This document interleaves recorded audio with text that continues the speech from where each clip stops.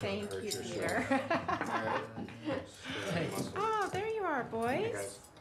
I don't believe Peter and I have met our dinner guest tonight. Uh, yeah. Uh, this is Charlie. Charlie St. George, the new quarterback. Yep. Um, and uh, also, he's my boyfriend. Well, good to see you again, Charlie. I hope you like steak. Yes, sir. You're dating the fucking quarterback? Sweet. Peter, language. Awesome.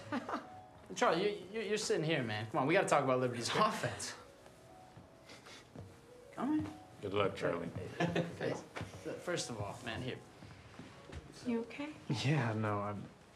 It's, it's not working. You guys are gonna No. I. th- I thought this would be a bigger deal somehow. Well, is he good to you? Does he make you happy?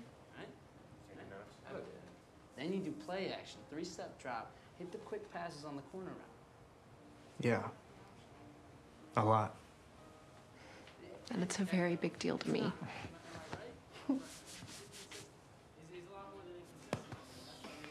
Maybe prom could change the subject once and for all.